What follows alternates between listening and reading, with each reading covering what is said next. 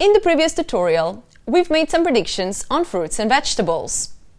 But you've been probably wondering, how do we know which classification model works best?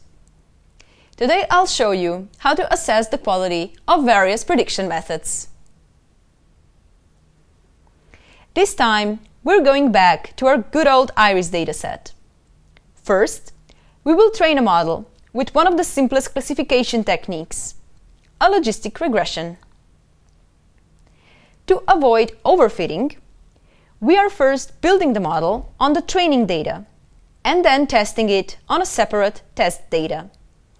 We want to repeat this procedure multiple times and then report on average accuracy. This is what cross-validation does, and it can be found in the test and score widget. In our case, cross-validation splits the data into 10 subsets, uses 9 for training the model, and the remaining subset for testing it. It repeats this procedure 9 more times, each time using a different subset for testing. Cross-validation results are reported on our right. What do these numbers mean? The simplest one to understand is classification accuracy in the second column. It reports on the proportion of correctly classified data instances. Looks like classification accuracy was 96%. So what are the 4% of the data that were misclassified? We can check this with confusion matrix. Looks like our model had no problems with classifying iris setosa. Still, it got a bit confused with versicolor and virginica.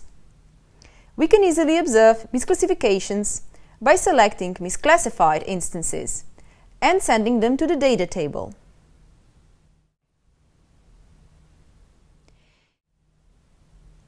Just by looking at this table, it is still hard to interpret the results and say much about misclassifications. Instead, let's visualize them in scatterplot.